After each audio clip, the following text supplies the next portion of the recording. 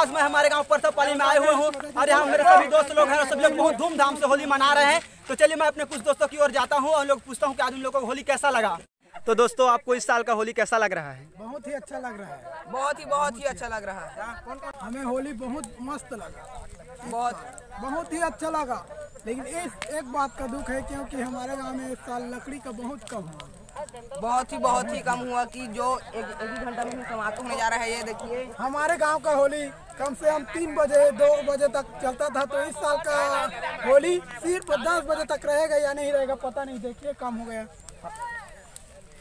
मनाते हैं हैप्पी होली भाई happy Holi happy Holi happy Holi भाई happy Holi happy Holi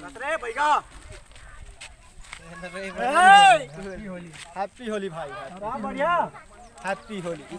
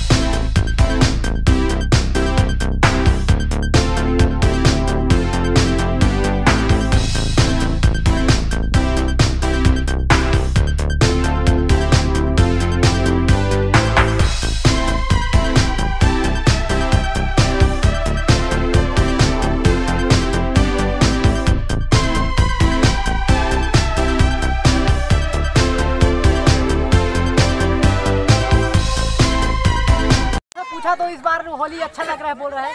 चलो पाँच साल के छोटे बच्चे के पास जाते हैं इस बार वो होली तो खेल रहे हैं उससे पूछते हैं। इस बार होली कैसा लग रहा है? बहुत मज़ा आ रहा है। रंग गुलाल से और पिचकारी मार रहे हो। बहुत मज़ा आ रहा है। मुझको भी मज़ा आ रहा है और सब पब्लिक को भी मज़ा आ रहा है। चलो दूसरा पास जाते हैं मज़ा आ रहा है।